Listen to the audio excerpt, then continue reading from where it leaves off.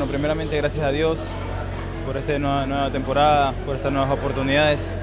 Bueno, eh, siempre es esta fiesta para los hinchas, eh, la noche amarilla y bueno, siempre con la expectativa de darle siempre la alegría, se pudo ganar hoy y bueno, ya estamos pensando en el objetivo. ¿no? Después de esto, la mente puesta ya en Copa Libertadores, lo que se viene. Sí, sí, desde un principio tenemos en mente el, el campeonato que es la Copa Libertadores, que es lo primero y bueno, eh, lograr un buen objetivo este año y, y llegar lo más lejos que se pueda. Sufrido, pero en la confianza ganan bastante de cara a lo que va a ser la Liga Pro, el inicio de la Liga Pro y como lo decía el compañero, la Copa Libertadores. Sí, sí, eh, es un buen inicio para, para el equipo y eso, eso es importante. ¿Qué cosas corregir de ahora en más para este partido que viene tan importante? No, más que todo eh, estamos compactos, el equipo está bien.